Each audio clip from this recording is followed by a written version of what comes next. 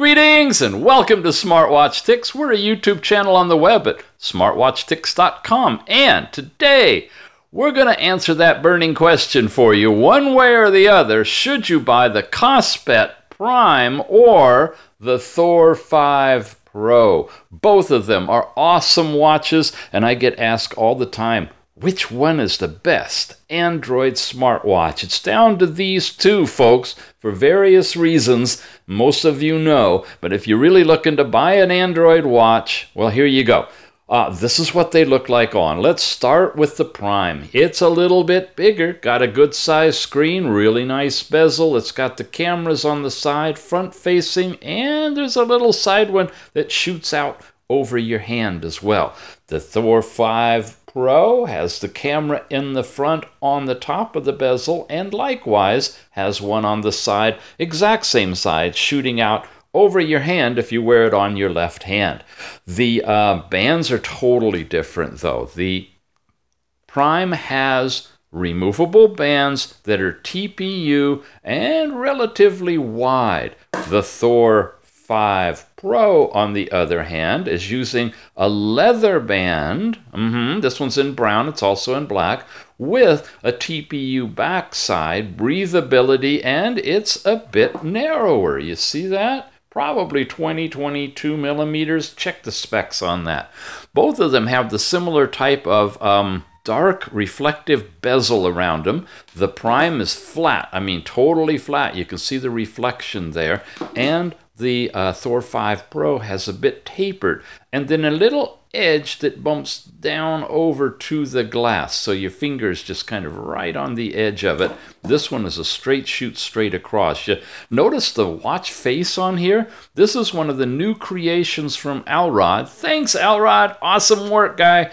This is... Um, the new active touch or complications capable faces. And yes, both of them support the ability to have watch faces that you can touch an active spot and go into whatever is programmed behind it. And folks are programming a lot of different things these days. Here's a heart rate.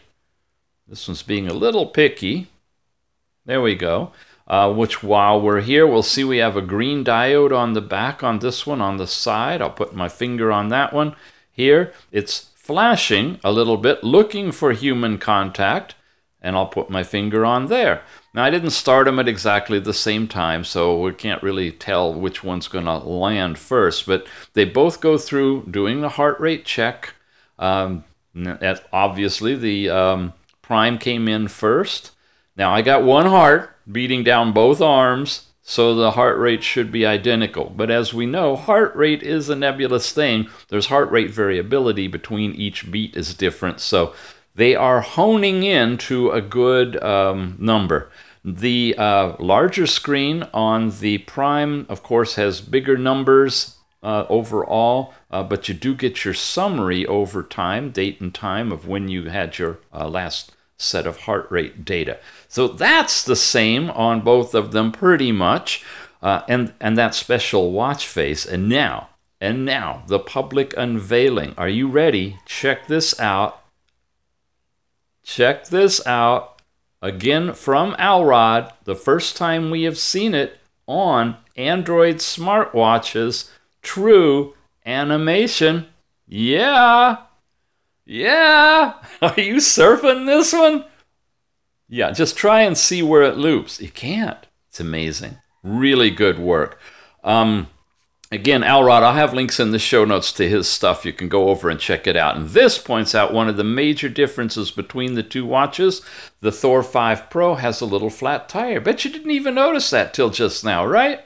Yeah, yeah, it's not really that obvious or obnoxious, but it is there. It's a different type of a screen altogether. This one is full round, uh, you can see the tick marks are going all the way around the edge. So that's a difference to consider on buying these. When it comes to the fitness, this one doesn't go over any further. This one does. You have this fitness section here. Now, both of them have the actual fitness app. Uh, it's just you have that little extra thing you can do over here. But if you come down and find the fitness app, which is right there, and likewise on this one, heart rate and fitness, and we go into it, you'll see that we're in the same section that you were in if you went over here.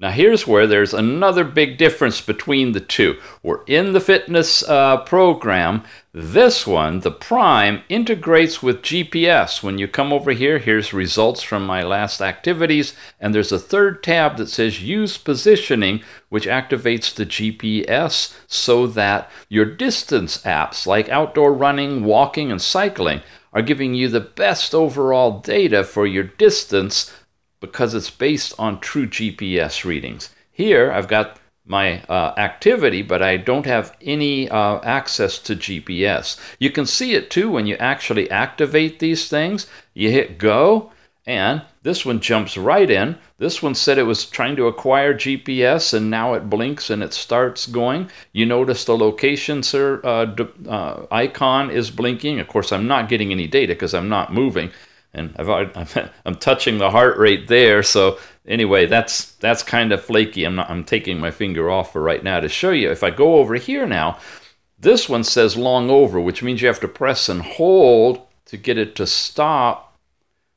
And then you can save or delete it. This one, the original, you just see the word finish and you can save it or delete it.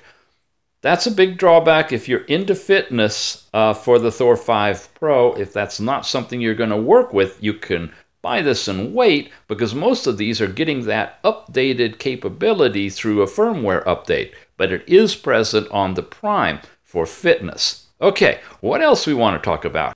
Well, how about battery? Uh, not much I can show you on that, but I can certainly tell you that uh, the battery in the Prime is really good. This is the best battery I've ever seen on a uh, Android smartwatch. I don't have actual data for you on exactly how long it lasts because it's all different considerations of what you got to go through, um, you know, to determine how long you're going to use it under what uh, conditions. But I can tell you that in general, it's lasting at least one and a half, if not two times longer than the batteries on any other watch, including the Thor 5 Pro. But I can tell you something about the battery in this one when we move into another factor that people use to decide, and that's on um, the ambient display or always on, or they sometimes call it always time. You notice down here on this one, there's an entry in display inside of settings It's not on this one called always time. If I turn that on, which I don't have here, come back to the watch face, There, it went off. It's doggone it. It's going too fast for me. Come back. Come on. There, we're on the watch face. When this one turns off, it goes black. When this one turns off, if you have always time activated, it goes to there. So if you're walking around with your watch and maybe you twist it and maybe you see the time and it takes a few seconds to come on, or this one, you can uh, actually wear it, glance at the time, and be on your way. It's always on. Beautiful. Something you'd want on any watch, right? I mean, after all, that's the main word in the in the name smart watch. It's a watch first. Well, that's all fine and dandy, but it comes with some uh, liabilities as well. First of all, you can't adjust the brightness on this. It's a little too bright at night and it's a little too dim in the day. With this, uh, with this one, with the standard one on either of them, you can actually adjust the brightness however you want. And I have a special thing called display brightness installed that lets me adjust the brightness right from the screen. And uh, if you haven't learned about that yet, you'll hear about it in just about any Android watch review I give you. Um, because it's part of it. And I have it installed on this one as well. It's just a little slider that you can uh, you can add. But when you're in the always time or always on mode, it's not adjustable. Second thing is you can't change it. It's just this one watch face. That's all you're going to get. You don't get anything here. Here you have the option, but it's that one watch face. And thirdly, and this is most important, are you listening? Pay attention now. The battery life is horrible when you have this turned on. I've done multiple tests, and a full charge drained down to about 10% takes five hours when you have it just in this mode with nothing else going on. No Wi Fi, no cellular, not watching movies, not even turning it on except once every now and then to check to see what the power level is.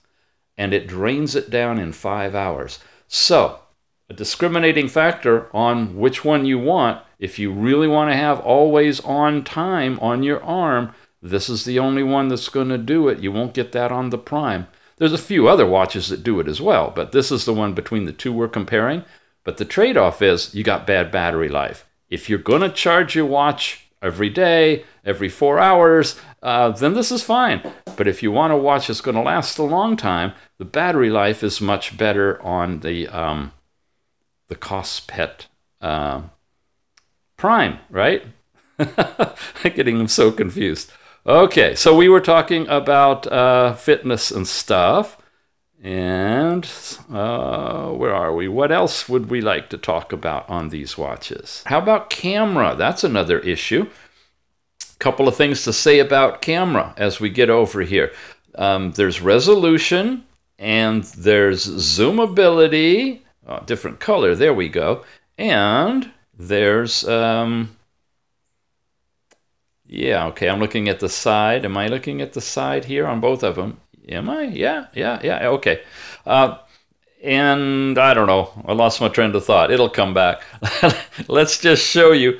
Okay, wow, the top one, it looks much more flesh colored. I don't know what that's all about. The bottom one is just kind of funky. So I'm going to take a couple of pictures. There's one on this one, and there's one on that one. And I want to show you the actual images now. And this is using the side camera, right?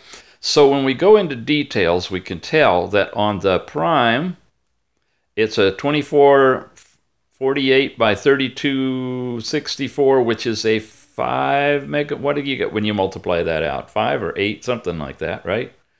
I know, I'm not being totally accurate, but you know, just multiply them. I think this is the 5 and that's an 8. Both of that means that they're up interpolated probably. If this is 8, it means it's a 5 megapixel camera, and this one, if it's 5, it was probably a 2 megapixel camera on the side. But you see that you've got a better camera. That's the bottom line. The Prime has a better camera on it. You're going to get crisper images from that side uh, camera. Uh, the front camera is different. Let's close this and close that. But before we leave, I want to show you you double tap and double tap and double tap again, and that's how you zoom in. Double tap, double tap, double tap again, same thing.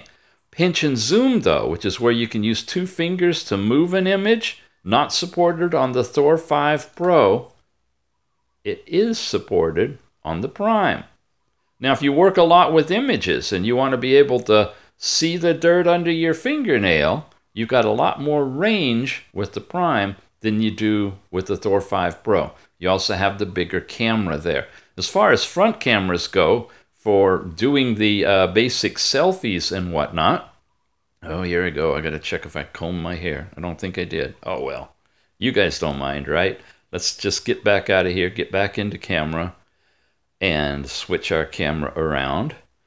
Okay, now I'm really bright, so bright it's washing out on the, uh, the, uh, the, the filming camera here on the Thor 5 Pro, and I'm pretty sure that's because on this one it forces brightness to the maximum. I can't dim it down. This one, it allows the brightness to be what you've set on the watch. Another little subtle difference. I'm just going to take some random pictures, and I'm going to bring those pictures up to show you details. Uh, 1080 by 1920 on this one and 1920 by 2560 on this one. Your front-facing camera is higher resolution on the Thor 5 Pro. Interesting. That's probably a 2 megapixel camera on this one and maybe a 1.3 or something like that on this one. Uh, so your selfies are going to be well, they're going to be what they are. This looks like it's taking a thin, long one, like for video, and this is a little bit wider. And video is another whole story um, on both of them, but um, mostly what we want to talk about now for your decision making is camera resolution and capabilities, and I think we've covered that. Hope that's enough for you. Okay, what else? Layout, well, they're pretty much the same. You come down here, you get a circle. You've got uh, primary icons that you can work with, the big date and your power level and everything. Different color scheme going on. Uh, you got different type of layout here slightly. Your location services, your Bluetooth, all of that's in different places. Um, airplane mode was over here whether you're uh, got your your SIM card in or you're tethered is all there. Uh, other than that, your cleanup is pretty much the same. You've got the built-in music player on it, and you've got your weather information in your location that shows on here as well. So all of that's the same. Then you've got your notifications over here. You've got your apps over here. And remember now, this one has the ability to do that fancy bubble thing for um, displaying your apps, which is in your app list style for bubble. And when we come back out of here and go into it, you're in the Apple kind of a bubble layout. Some people really like that. In fact, enough people really like that that they, uh, when it was taken away, they got all upset about it and uh, it was put back on. Okay, and then this one's going to be in a uh, arc or circle with the time right in the middle. So those are the two alternate ways of displaying apps. If that's a critical thing for you, there's another decision point as a possibility. But all in all, um, weight about the same, size, this one is definitely larger. So let's take a, another look. I'm about average, I would say, for a guy. Um, and it's almost getting too big for me, in my opinion. Uh, it's relatively thick, uh, but it's a good solid watch. The band is nice and flexible. It's going to fit really well. In fact, it's got this little pin thing that when you go on, uh, put it on and, and lock it in with the tabs here, it's not going to fly out on you, which is kind of a nice feature. This is definitely more dressy. It's a little bit overall smaller watch. Mm-hmm. And um, leather type of a band. So it's going to have a bit more of a dressy appeal to it. Uh, but they're both basically doing the same thing. Then there's the charging methods. Dock, wire. Yep, the Prime uses a specialized dock and I do mean specialized. It looks similar to a dock that appears on a couple of other of Kospet's uh, watches, but it's not. It's curved here, not straight, and so the pins have to be curved. And it sits right in the dock. It's magnetic. It uh, holds on pretty good. You hook up a standard USB, micro USB wire to it, and that's how you charge it. You just got to make sure you set it in there right and it falls into position. Drawback from this is you got to have the dock with you if you're going to be out and about uh, thinking you're going to need to charge it before you get back to your primary location where your dock lives. Also, it only comes with one dock, and it's pretty hard to get a second one, although I think there are ways. Uh, if any of you have links to where you can buy another um, dock for the Prime, let us know. We'll definitely put it in the show notes. Um, but that's it. You've got a dock. The uh, Thor 5 Pro has the standard 4-pin wire with a twist, literally with a twist. Check it out. It does not go down. It's reversed. Most other watches that use a 4-pin connector with magnetic uh, connection will hang off of the watch in this direction but not so with this one and all the others that have that little flat tire in the same class, which is like the Janus and the, um, the Kospet Vision and the X360 and all of those things. The wire, oops, comes off of the other side. I've never broken one yet, folks, not from dropping them. But you guys, I know it just like fingernails on a chalkboard to see that. So if you have multiple watches that use this kind of thing, which I doubt many of you do, but some of you are collectors like me, be very careful you get the right watch with the right wire. It needs to come off when it's upside down to the left. If you accidentally put the wrong wire on here and the pins are reversed and the watch is on, it'll immediately turn off. I haven't fried one, but I have hooked them up wrong. Same thing if you use this wire on a different watch than this. And it's connected wrong as well. I don't know why they decided to switch, but they have. And so um, That's a drawback in that it's not standardized wire, but a nice benefit is you can buy extras of these. Uh, make sure you get the right polarity, right? If you do, and then you could have one in your car, you could have one at work, you could have one in your pocket for goodness sakes and take it anywhere you want to.